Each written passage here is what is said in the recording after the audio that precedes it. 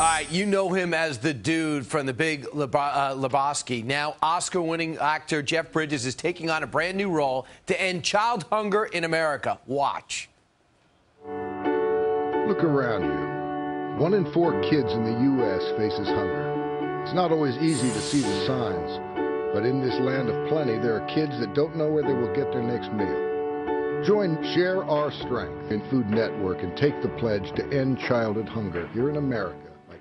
And now people have, and so have states. He's teaming up now with Virginia Governor Bob McDonnell to unveil the new programs. And joining us right now to talk about this is Governor Bob McDonnell and Jeff Bridges. Welcome to both of you guys. Thanks for joining us. Thank you for having Thanks, us. All Thank right, you, for- Brian. uh, first off, I was shocked at this. You have 16.7 American kids, nearly one in four, living in households that don't have access to enough nutritional food. Jeff, how did you become aware of this? Well, uh, it, you know, I started uh, working with the hunger issue back in '83, and originally it was uh, about it, you know ending hunger internationally, and then uh, we.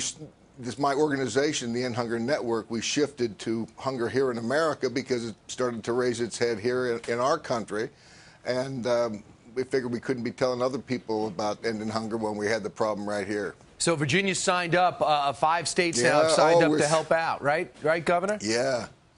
Yeah, we're kicking off our program today. Jeff and I and Secretary Tom Vilsack, Secretary of Agriculture, will be at uh, an elementary school in Arlington, Virginia, uh, this morning or this afternoon at two o'clock to kick off the campaign. We're real excited. A public-private partnership between corporate sponsors, the food banks uh, of uh, Virginia, and Jeff's network and SOS will all be together.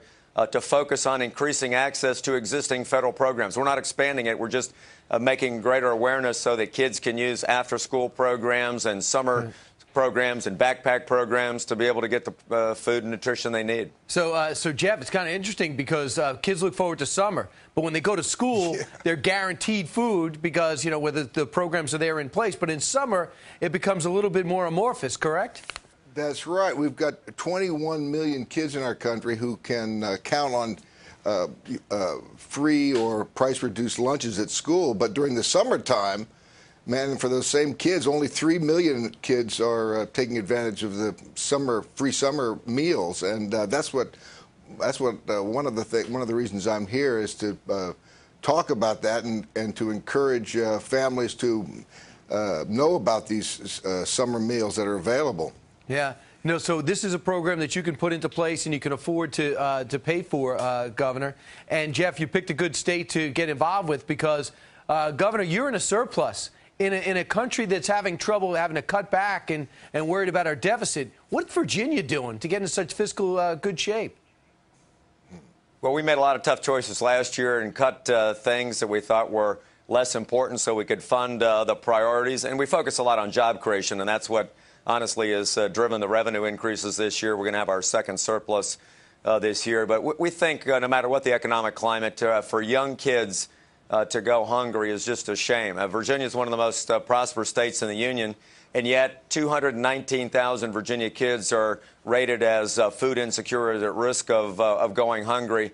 And uh, that's just a shame. So, we really want to ratchet up the focus, uh, the awareness, and access to existing programs that really won't cost the state much at all. A lot of private donations are going into this to Jeff's network and to SOS, and uh, we think it's going to be a great kickoff today. Now, Governor, be honest. When you look at Jeff, and you're very close to him right now, couldn't this guy slide right into Washington seamlessly with that beard, with that suit on? This guy looks like a politician.